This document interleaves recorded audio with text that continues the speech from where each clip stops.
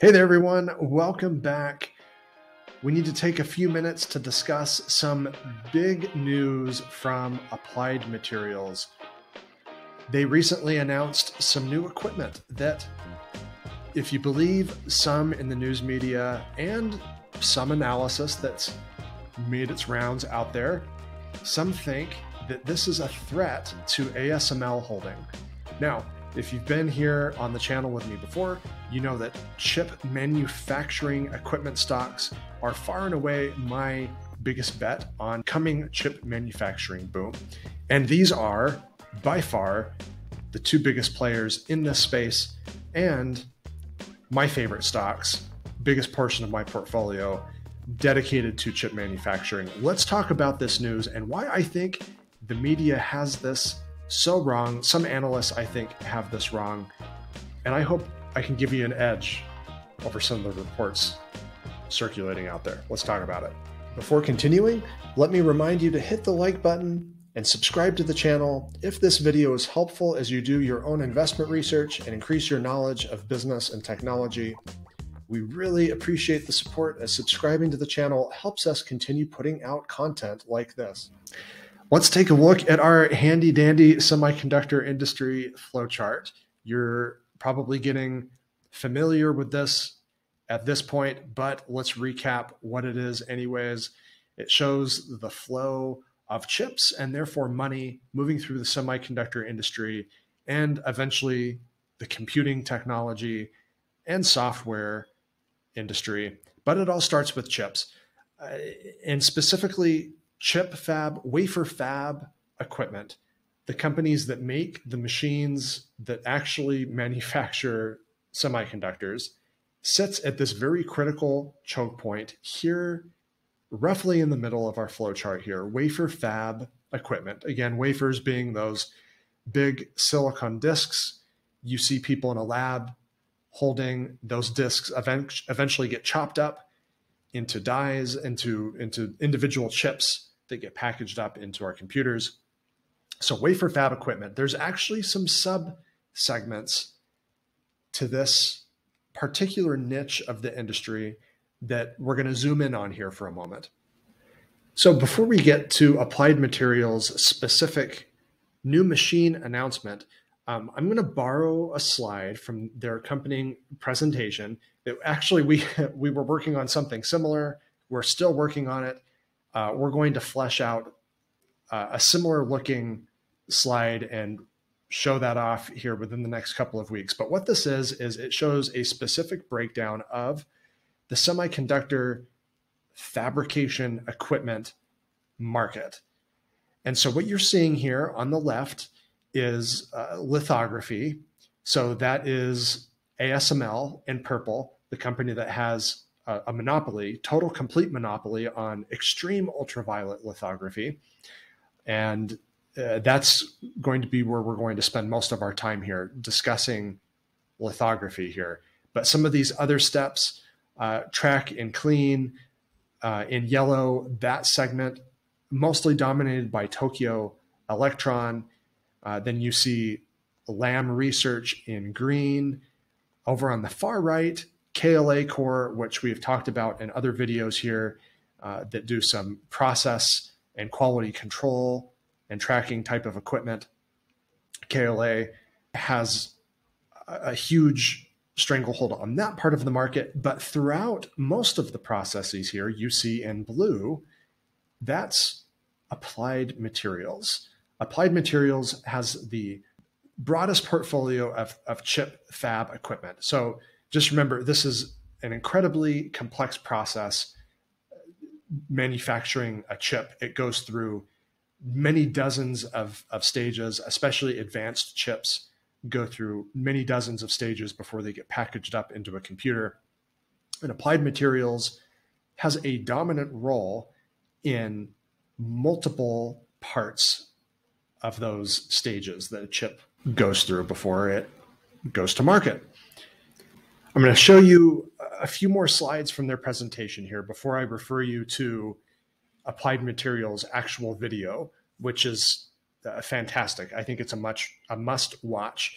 Uh, but a couple of interesting slides here uh, that illustrate what EUV lithography does. So, so we're talking here like at the microscopic scale, EUV, extreme ultraviolet light, uh, used to create these small lines, cuts, and vias on a silicone wafer. And oftentimes in the most advanced chips, uh, a wafer will get double patterned. Basically, the EUV machine uh, from ASML will get used twice to create uh, these very this very complex network of lines and trenches and vias that eventually get filled in with metal that that bring power through the multiple layers of a silicone chip.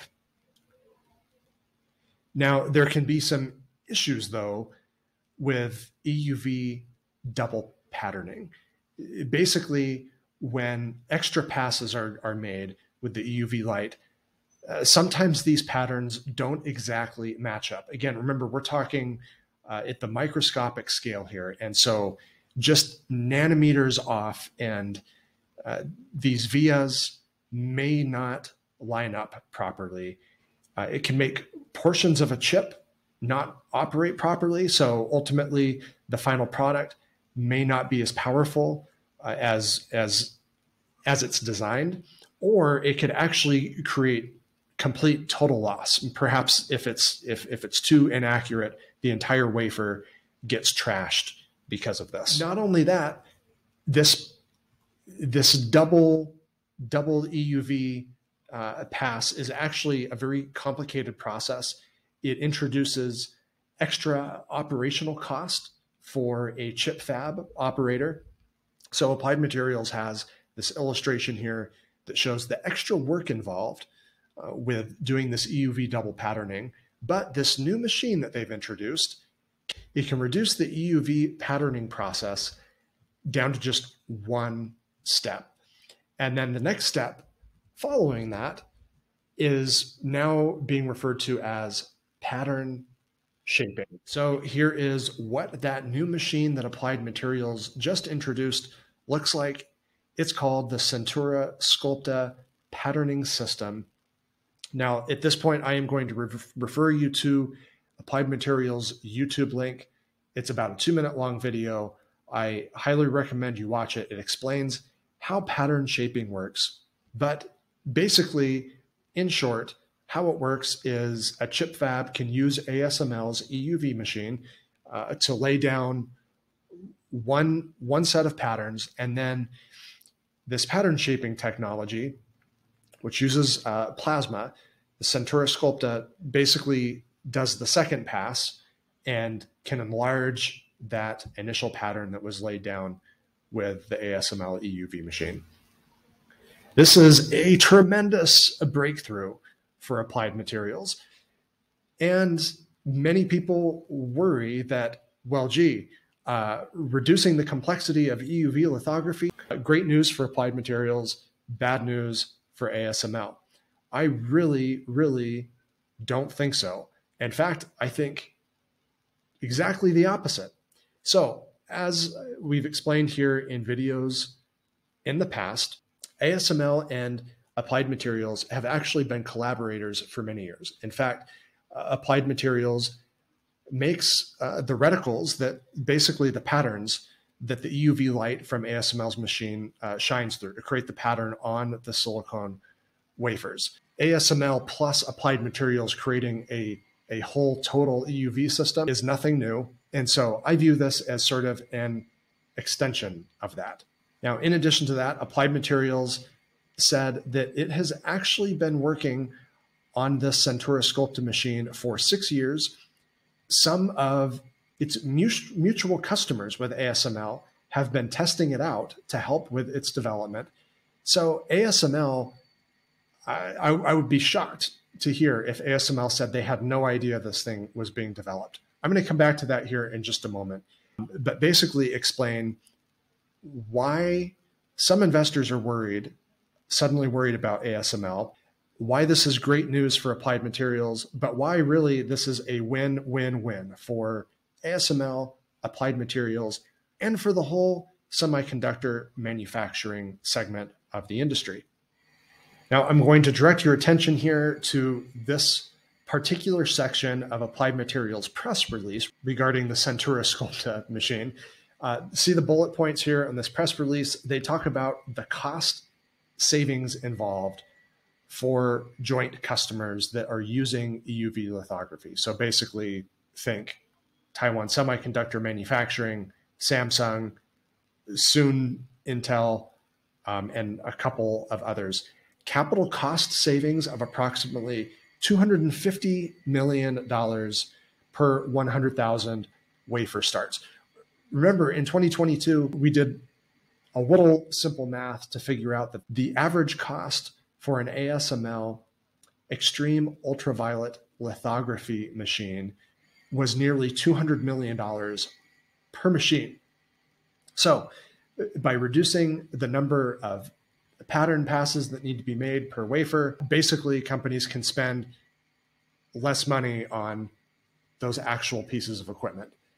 In addition to that, because the operation of actually creating an EUV wafer is now simplified, manufacturing cost savings of approximately 50 bucks per wafer, uh, energy savings, uh, greenhouse gas emission reduction, less water consumption, uh, you name it. The Centura Sculpta from Applied Materials will help drive down the cost of manufacturing for companies that are utilizing EUV lithography from ASML. Now, as to why I think Applied Materials new machine, new complementary machine is a value add to the EUV lithography market, uh, not a reason to be worried about ASML. Let's rewind back to ASML's 2022 Investor Day. Just, just about four or five months ago in November 2022, the company provided a massive update to their long term growth outlook. Remember, the company has done about $22 billion in sales over the last year. They're expecting that to go to at least 30 billion, if not 40 billion at the high end in annual sales by 2025 and 44 billion at the low end to 60 billion in sales by 2030. Uh, so as much as a triple in revenue over the next 8 years or so. And remember this was just 5 months ago ASML provided this this update. They knew about Applied Materials Sculpta machine, the complementary new device that reduces the usage of an EUV lithography machine from ASML. What I think is happening here is remember, the chip industry is deeply collaborative. Uh, most most companies share their product roadmap with each other uh, years in advance so that they can uh, kind of grease the gears of innovation, keep things moving forward, and so that there's no duplicative efforts going on because developing this stuff is massively complex, it's expensive, and it just doesn't make a lot of economic, economic sense to compete with each other. So they share each other's product roadmaps with each other uh, to help keep the industry moving forward, to keep it innovating, and to help it keep getting more efficient. Suffice to say, ASML knew about Applied Materials plans, and I think part of their outlook implied that there was going to be huge new adoption of EUV lithography equipment in the coming years. And they knew that one of the driving forces of that could be Applied Materials' new machine. So perhaps ASML's equipment doesn't get used for double patterning as much as it did in the past, but that's okay a lot of chip makers that maybe have been holding off on investing in these incredibly expensive, incredibly complex pieces of equipment to operate from ASML, uh, maybe with the introduction of Applied Materials new machine that might tip them over the over the edge, it now makes economic sense for them to start incorporating EUV lithography into their operations. So Greater adoption of EUV lith lithography as a result helps ASML. Applied Materials gets a new market segment to dominate in chip manufacturing, new revenue stream for Applied Materials, and the overall semiconductor manufacturing industry uh, kind of further goes down this path of pushing the boundaries of what's possible for manufacturing uh, because suddenly the most advanced chip making, EUV, has suddenly got a whole lot more efficient.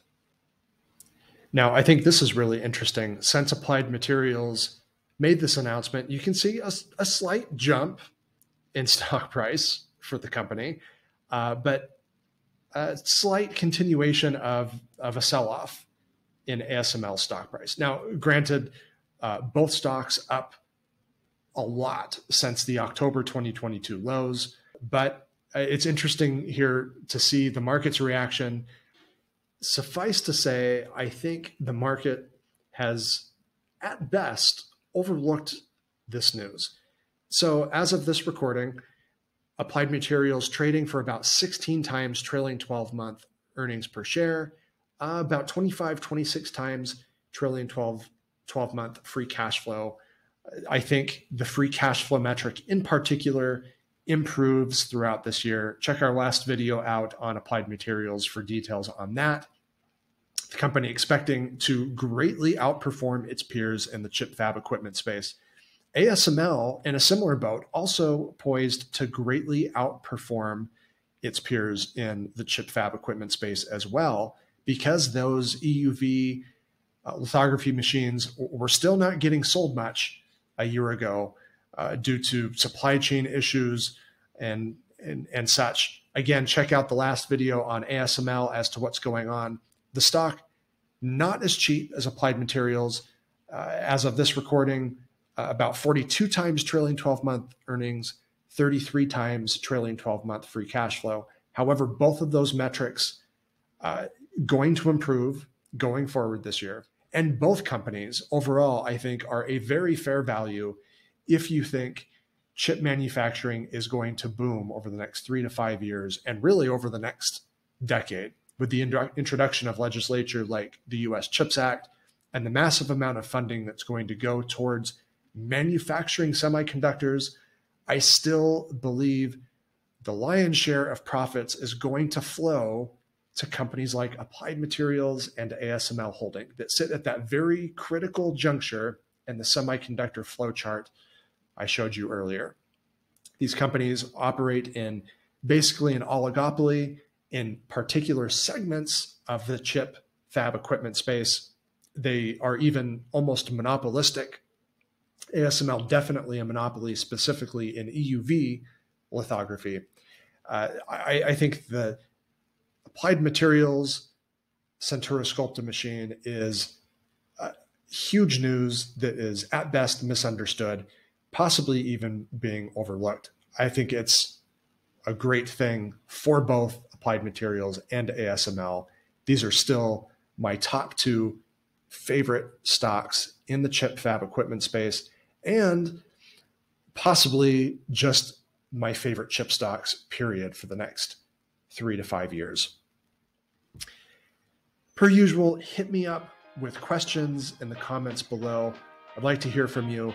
Stay tuned. We've got some big news coming. Uh, we're actually coming up on the six month anniversary of the Chip Stock Investor channel here in the next couple of weeks. We're prepping some new stuff for that. Also, more industry news and company analysis coming your way. Hope you all have a great weekend. See you again real soon.